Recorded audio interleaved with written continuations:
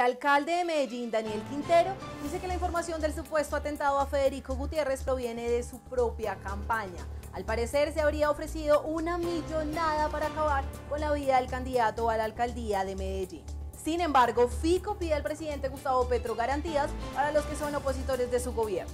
Hasta Pasto serán trasladados los soldados liberados en Policarpa Nariño, en donde serán recibidos por sus familiares. Se trata de Edward Paz y Nelson Vázquez, quienes por 41 días permanecieron en el poder de las disidencias de Iván Mortisco.